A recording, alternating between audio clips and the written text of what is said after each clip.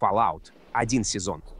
Более 200 лет после ядерного апокалипсиса, который опустошил Америку, жестокий набег бандитов на подземное бомбоубежище вынудил одного из жителей отправиться в радиоактивные пустыни, полные монстров и беззаконное общество тех, кто остался на поверхности.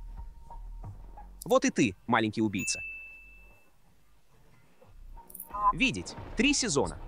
В далеком антиутопическом будущем человечество утратило зрение, и общество должно искать новые формы взаимодействия – застройки, охоты и выживания. Это вызывает сомнения, когда рождаются близнецы со зрением. У них есть сила, которую мы назовем магией или злом. Последний корабль — пять сезонов.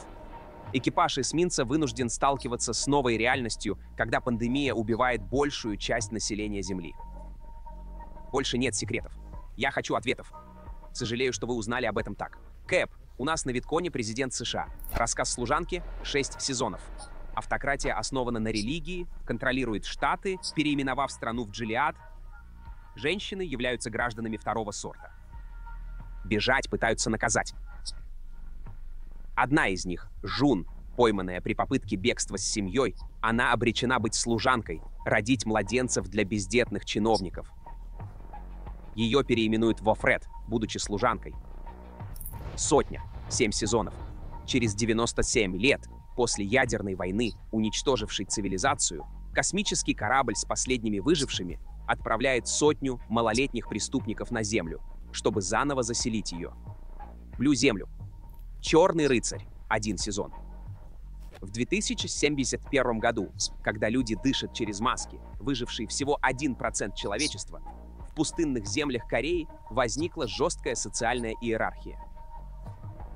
Водители-доставщики становятся крайне важными. Для беженцев водительская работа – это единственная надежда на выживание. Последний человек на Земле. Четыре сезона. Почти два года спустя после уничтожения вирусом большей части рода человеческого, Фил Миллер мечтает о компании, но скоро получает больше, чем ожидал, когда эта компания появляется в виде других выживших. У меня время на одного, но нужно уходить. Сайла. В мрачном будущем человечество борется за выживание в колоссальном бункере под землей. Джульетта, инженер, должна разгадать тайну смерти коллеги, раскрывает секреты, угрожающие миру. Некоторые тайны лучше оставить неразгаданными.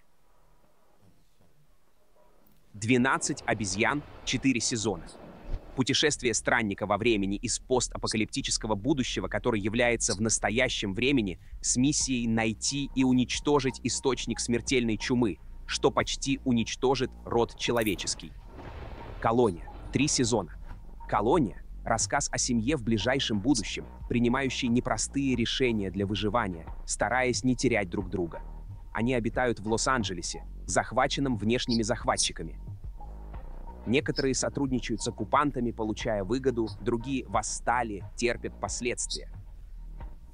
Сотрудничай и умрешь. Наших детей я в лагерь не отправлю. Вот и все на сегодня. Приятного